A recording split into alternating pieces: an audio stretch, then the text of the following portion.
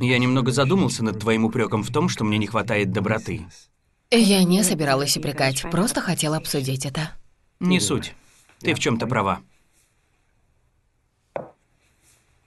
Без сомнения, хорошее обращение с людьми имеет свои преимущества.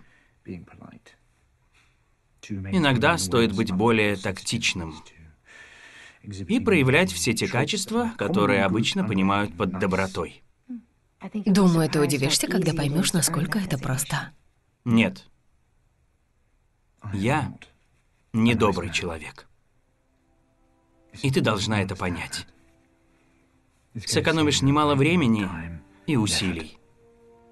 Во мне нет доброты и теплоты, которые бы рвались наружу.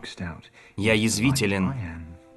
Иногда я жесток. Такой уж я человек. В этом весь я. Я не горжусь этим, но и не стыжусь этого. Это данность. И чаще всего эти черты не только не мешали, но и наоборот помогали мне в работе. Я не собираюсь меняться.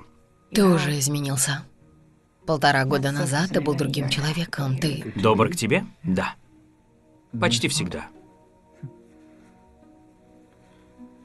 Это лишь потому, что ты